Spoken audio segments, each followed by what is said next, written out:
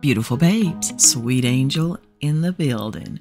I just finished washing my face and I wanted to share with you all something I've been using. Oh my gosh, that has definitely surprised me. It's agave nectar. Let me tell you the reason why I used it. I ran out of my honey for my normal skincare routine I use with honey and I substituted agave. And what I did with this agave, yes, I slathered it all over my face. Let me just tell you about agave nectar. It looks similar to honey, but like honey, it also has powerful natural skin healing properties.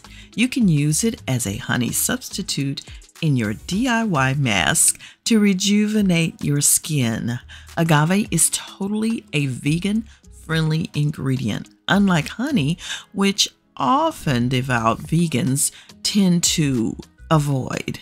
Agave contains saponins and fructans that have anti inflammatory and immune system boosting properties. Not only this, but blue agave nectar is super powerful to use in skincare because it has awesome antibacterial and anti aging natural properties. Agave nectar is an ancient remedy extracted from the leaves of agave, a succulent plant that helps treat several skin problems. The topical application of this natural sweetener has skin calming effects and may help in wound healing. The agave nectar face mask makes your skin clear and offers a refreshing feel.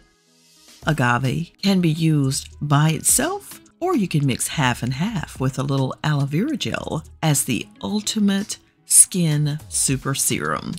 Let me tell you about the benefits of this. Agave helps your skin to feel moisturized all day, even soft and supple. It makes your skin plump and reduces the appearance of fine lines. It calms irritated skin.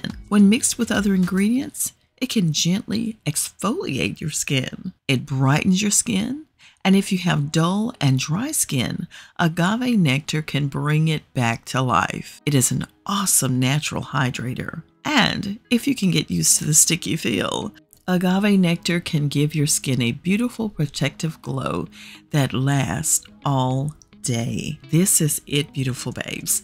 I just share because I care and I want you to be in the know.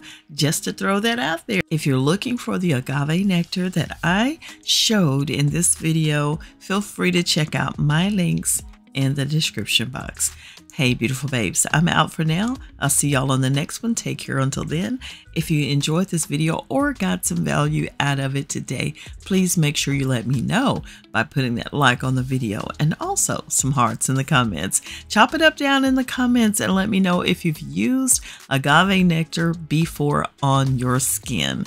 And if so, we'd love to know how you use it. I'll see y'all on the next one. Take care until then, and make sure you share me with a friend.